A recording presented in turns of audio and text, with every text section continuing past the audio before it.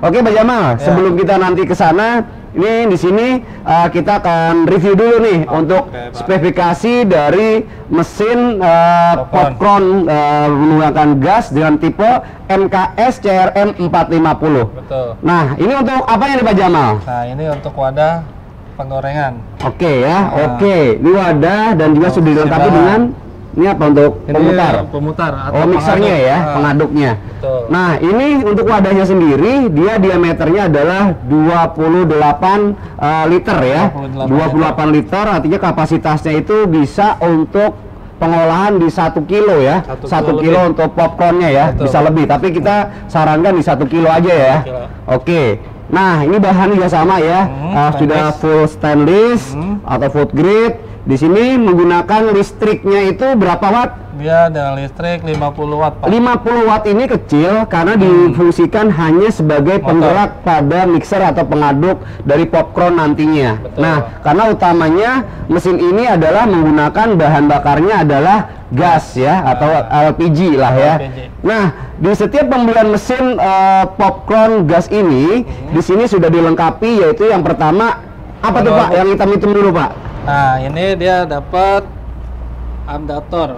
Adaptor. Fungsinya Nah, buat apa Pak? Fungsinya untuk menyolok motor. ya. Ah, ngecas. Nah, Oke. dia ada dua fungsi, Pak. Oke, apa Nah, Pak? Dia bisa langsung ke listrik, bisa langsung lewat aki. Oke, Jadi di dalam ada artinya akinya.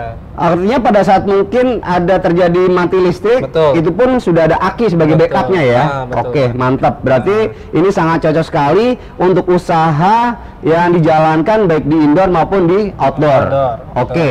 Terus berikutnya apa lagi? Nah, kita dapat garansi pastinya. Oke, lupa Sama ya. Oke. book. Ini selalu kita berikan yang namanya adalah garansi, garansi. ya. Satu garansi dan juga manual booknya juga. Oke. Terus yang Nah, berikutnya Ini ada kelengkapan. kelengkapannya apa aja, Pak? Nah, ini untuk pengaduk. Nih, ini pengaduknya ya. Ya. Jadi nanti popcorn yang sudah Turun, keluar, uh-huh. ini kita aduk aja ya. Ya. Atau untuk mengambil dari bagian dalam Hmm. pada saat proses eh, eh, proses masak di awal ya, karena masih panas. Ya. Oke, terus yang berikutnya ini apa, Pak? Nah, ini skop jatuhnya. Skop untuk untuk manual bahan. Oh, jadi setelah pengemas. Oke, berarti Nah. setelah dari sini popcorn ada penirisan, Hmm. terus dipindahkan ke sini ya, Ya. dilakukan untuk pengemasan ke eh, popcornnya ya. Ah. Oke, terus ini apa nih Pak? Nah, ini ini. untuk takaran. Untuk takaran apa ini? Berapa banyak Minyak ya? minyak sama jagung. Oke, Ah. siap.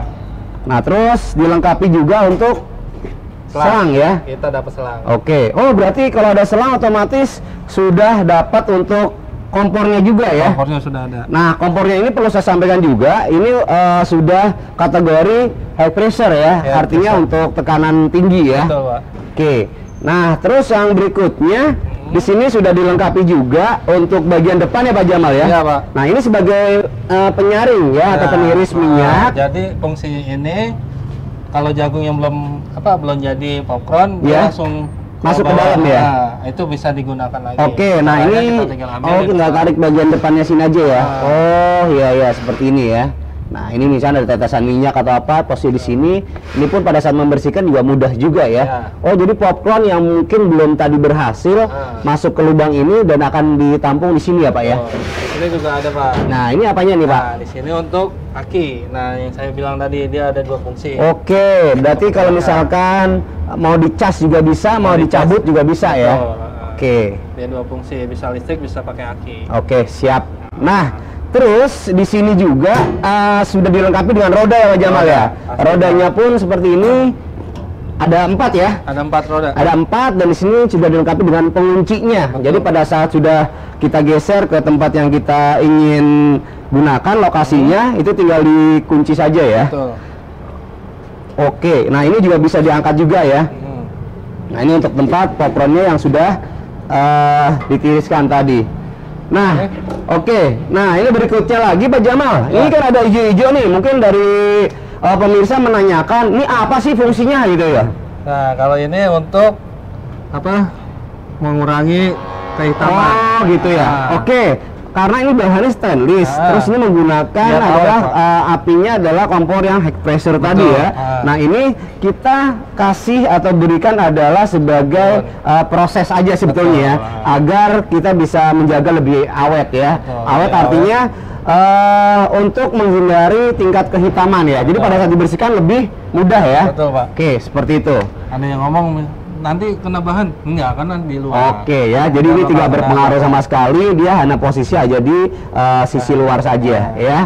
Oke, Pak Jamal, Ya. ini sudah lengkap ya. Saya sedikit review. Di sini adalah tempat untuk memasukkan popcorn ya, Betul. yang akan kita buat nanti ditambahkan dengan ada minyak atau mentega atau mungkin karamel lah, ter- tergantung dari eh, kebutuhan betul. selera yang akan dibuat ya. Oke. Nah, di sini sudah dilengkapi dengan mixer atau pengaduk dari eh, popcornnya ya. Nah, ini juga keunggulannya bisa dituang, Pak, pasti. Nah, Ini oh iya. Oke, ini bisa pada saat sudah masak, Nah. popcornnya tinggal tuang seperti kita ini. usah ngambil. Kita buka seperti ini ya. Ini pun kita lepas juga nggak masalah karena dia sudah otomatis mengunci. Nah, Ada seperti itu ya. Oke, ada mana coba ya? Iya. Nah, dia akan keluar dari sini, akan eh, nanti penirisan di sini, baru kita pindahkan ke sini. Oke ya. Nah, ini pun sudah dilengkapi dengan karet ya, Dengan karet. atau plastik. Ini plastik ya, Pak ya?